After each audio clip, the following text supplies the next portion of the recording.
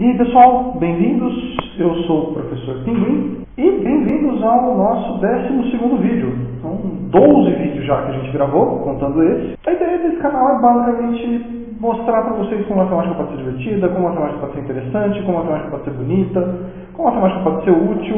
E nessa semana a gente vai começar um tópico novo, que é um tópico leve, é um tópico que se vê muito no ensino médio, que são pá, pá, pá, raízes quadradas. A ideia desse vídeo é falar sobre raízes quadradas, a operação que é, e passar alguns métodos sobre como você pode aproximar raízes quadradas. A gente falar de alguns métodos diferentes, comparar um pouco um com o outro, ver o que eles têm de especial, e passar um pouco sobre como eles funcionam. Espero que vocês gostem desse vídeo, eu espero que seja interessante. Bora lá, vamos começar? Vamos começar definindo o que é essa operação raiz quadrada. Muito provavelmente vocês conhecem ela do ensino médio, talvez do ensino fundamental. Mas a definição básica é, seja x um número positivo, ou de um jeito diferente de dizer x é um número maior ou igual que zero, a gente define raiz de x como sendo um número também positivo, tal que esse número vezes ele próprio dá o x. Então, a raiz de um número é um número que, vezes ele próprio, dá o número que estamos procurando a raiz. Aqui eu estou tratando o conceito só envolvendo números reais. Existe uma expansão usando números complexos, você pode a raiz quadrada de negativo, a gente não vai tratar disso nesse vídeo, pelo menos. A gente vai tratar a raiz quadrada como sendo um número positivo, que vezes ele próprio, dá aquele número que está dentro da raiz. Um exemplo rápido.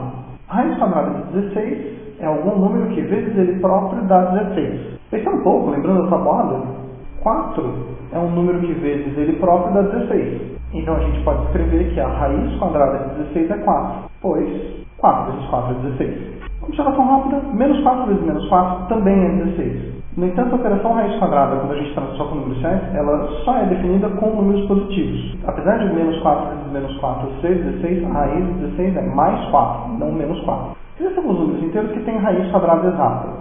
A gente pode listar os primeiros deles, só para efeito de ilustração. Raiz de 0 é 0, porque 0 vezes 0 dá 0. Raiz de 1 é 1, porque 1 vezes 1 dá 1. Raiz quadrada de 4 é 2, porque 2 vezes 2 são 4. Raiz quadrada de 9 é 3, porque 3 vezes 3 são 9. 16 eu já tinha mencionado, 4 vezes 4 são 16. Raiz de 25 é 5, porque 5 vezes 5 são 25. Esses números inteiros, cuja raiz quadrada também é um número inteiro, são os que nós chamamos de raízes quadradas exatas. Elas são fáceis de calcular, você pode fazer elas por tentativa e erro. Inclusive, alguns truques que podem ajudar você a calcular uma raiz quadrada exata é o fato de que números pares, quando tem raízes exatas, elas também são números pares. Números ímpares, quando tem raízes exatas, também são números ímpares.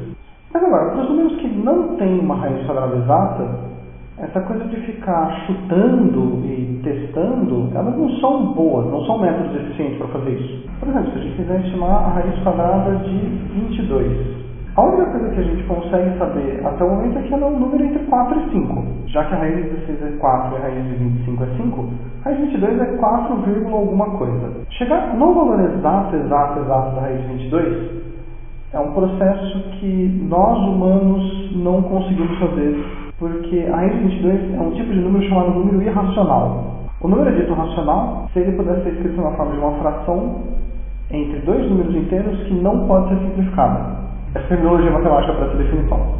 x é um número racional, C e só C, x é uma divisão entre dois valores, P e Q. Esses dois valores têm que ser inteiros. MDC é o maior divisor comum. O maior divisor comum entre eles ser 1 quer dizer que não tem como você simplificar ele. A definição de número irracional é meio triste. É, número irracional é aquele que não é racional. x é irracional se ele não for racional. Existe um teorema datado da época dos gregos que diz que se um número inteiro não tem raiz exata, esse número é com certeza irracional.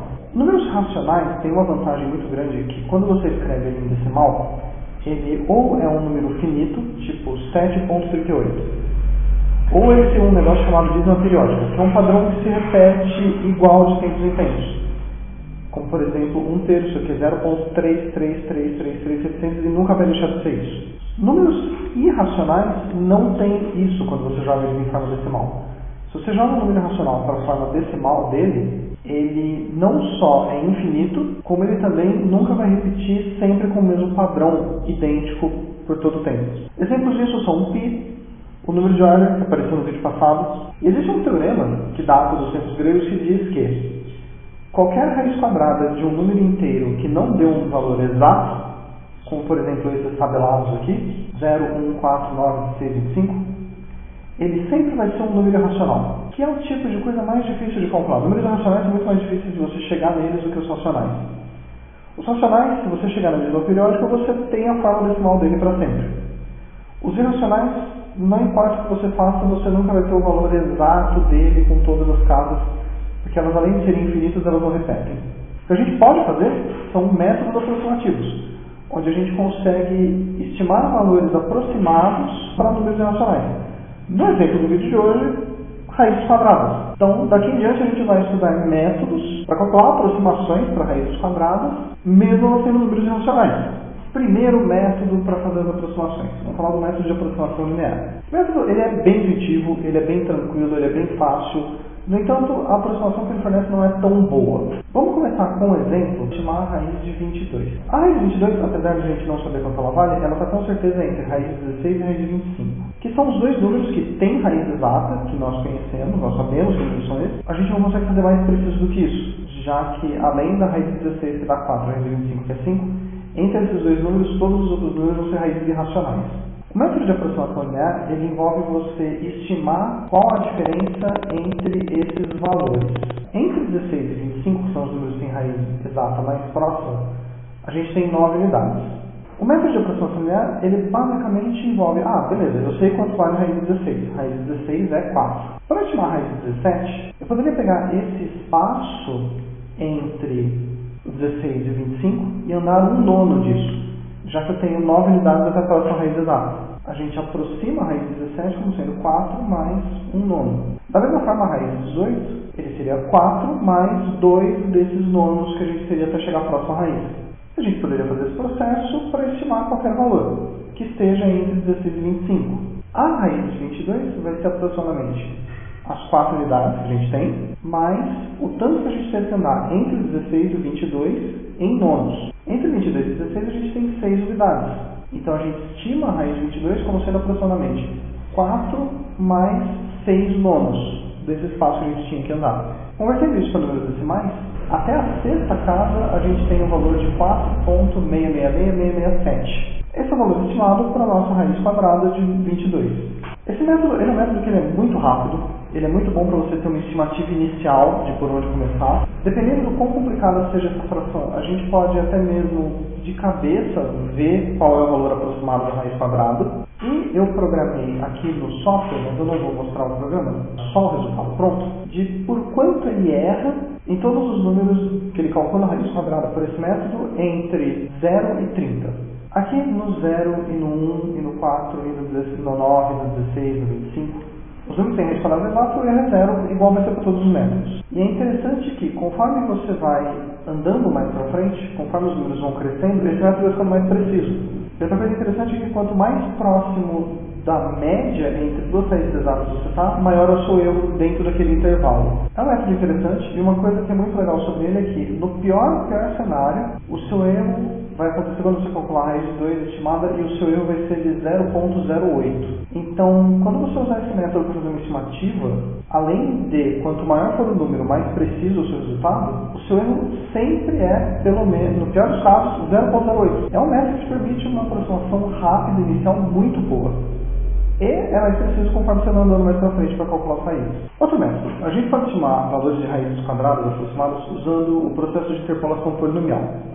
Interpolação polinomial já foi tema de dois vídeos nossos. Se você quiser saber mais detalhado sobre como é o processo de interpolação, eu recomendo que vocês assistam o vídeo que vai estar aparecendo o link, acredito eu, aqui do meu lado. Talvez seja desse lado, eu não tenho certeza em que o processo de interpolação ele é explicado mais detalhado, como você faz a interpolação. A ideia bem resumida é que a interpolação polinomial é, se você tem alguns pontos conhecidos, você consegue determinar o polinômio que passa por eles. Vamos usar aqui como exemplo ainda aquela mesma raiz 22. Eu não sei quanto vale a raiz 22 exata, mas existem alguns números próximos a 22 que a gente sabe a raiz. Vamos pegar três pontos para a gente fazer, que a gente já conhece quanto vale a raiz exata. Nós sabemos que a raiz de 9 é 3, a raiz de 16 é 4, a raiz de 25 é 5. De todos os números que têm raiz exata, esses são os três que estão mais próximos de 22. Pelo que você sabe de interpolação polinomial, ou você viu no vídeo passado, você lembra, ou conhece alguma outra fonte, o processo de interpolação polinomial ele permite que a gente crie um polinômio que passe exatamente por esses três pontos. Depois que a gente cria esse polinômio, eu vou só um nome chamar de p de x. Esse polinômio ele não é a raiz quadrada, porque um polinômio é diferente de uma raiz quadrada, eles são funções diferentes. Mas nesse intervalo que a gente juntou esses pontos, ele é um polinômio que aproxima a raiz quadrada. Se esse polinômio aproxima a raiz quadrada nesse intervalo, então a gente pode estimar a raiz de 22 como sendo esse polinômio calculado no ponto 22. Aqui eu usei o software para estimar o polinômio interpolador. O processo de desenvolvimento já foi explicado em outro vídeo. É um processo que não tão rápido quanto o método anterior, é um processo que é rápido para fazer se você usar só três pontos. Eu descaradamente fiz as contas do software, copiei o resultado pronto. Este é um polinômio interpolador que passa por esses pontos. Quer dizer que nesse ponto, se você trocar o x por 9, o resultado vai ser 3, que é a raiz de 9. Se você trocar o x por 16, o resultado vai ser 4, que é a raiz de 16. E se você trocar o x por 25, o resultado é 5, que é a raiz de 25. Bom, então ele é no 9 da raiz de 9, no 16 da raiz de 16, no 25 da raiz de 25. Embora ele seja exato nesses pontos, nos pontos que estão entre 9 e 25, ele vai ser próximo de. Então, a raiz de 22, ela é estimada como sendo aproximadamente, quando a gente pega este polinômio aqui e troca o x por 22. A raiz de 22 é aproximadamente o polinômio no ponto 22.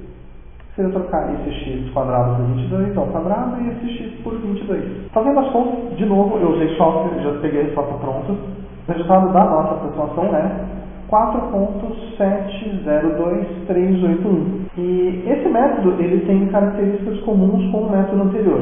Dentro daquele gráfico que ilustra quanto é o erro cometido em cada ponto nas raízes calculadas de 0 a 30, a gente tem isso aqui, que ele mantém o mesmo padrão. Eles, os erros são 0 nos lugares que tem raiz exata, 0, 1, 4, 9, 16, 25 o erro ele vai diminuindo conforme você aumenta o valor da raiz que você calcula e ele aumenta quando você está mais perto da média entre dois números que têm raiz exata. Dá para mostrar os dois erros ao mesmo tempo. Esse é o gráfico dos dois erros simultâneos. As cruzes representam o erro da aproximação linear, que é o primeiro método que a gente viu, e os outros vermelhos representam o erro da interpolação polinomial.